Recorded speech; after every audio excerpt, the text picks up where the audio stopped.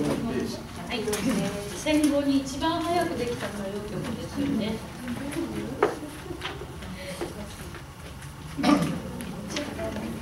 この曲で元気をもらったそうですね。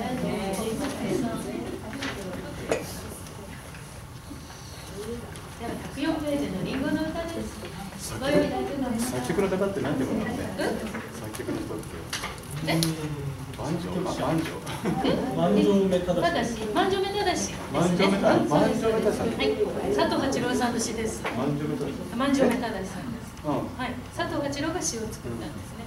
これに対抗したみかんの花咲く丘っていうのは違う人が作ったんですけど、これが実なので、あちらを花にしたという特撮があるんですね。同じ時期に作ったそうです。実を歌ったんでは対抗できない佐藤八郎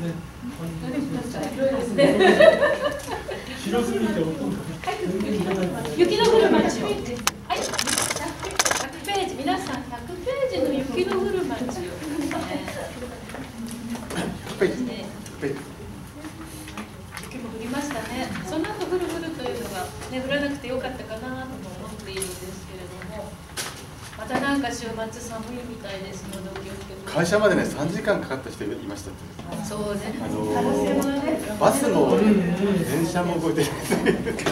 北瀬山は全国放映されてる。そうですね。嬉しいよね。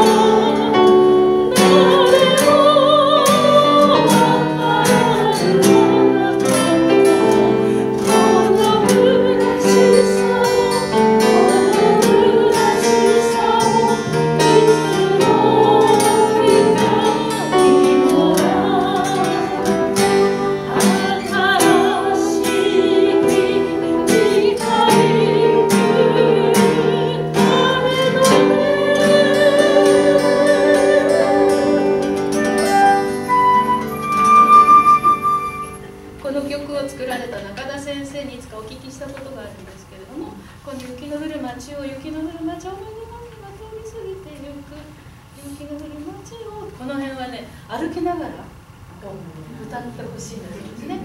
でそれでちょっと暗いんだけども大変なんだから歩いてそうするとね明るい日差しが来るんだよって。これ歩きながら歌ってほしい歌なんだと思うんですよ。雪の中を。そうおっしゃっていらっしゃいました。ちょっと今思い出しました。何か？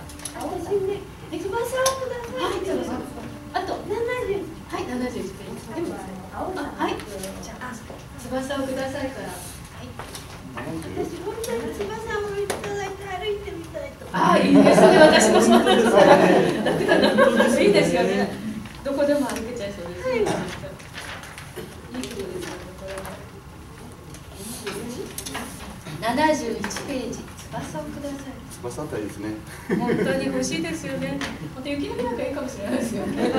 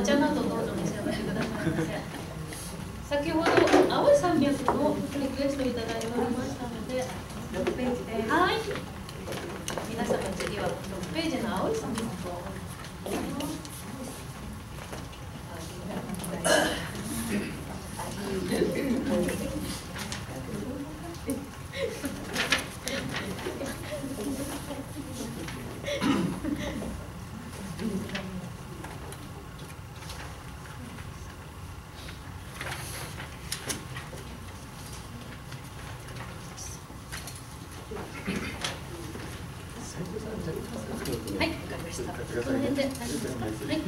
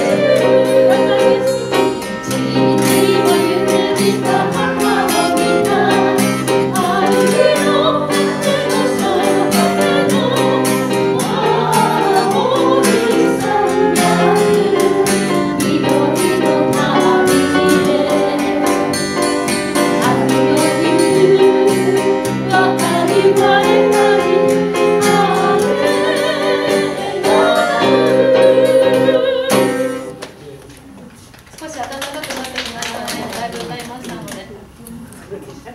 どうですか？カチューシャ。カチューシャ。はい。何ページです？か。二十七ページ。はい。カチューシャは。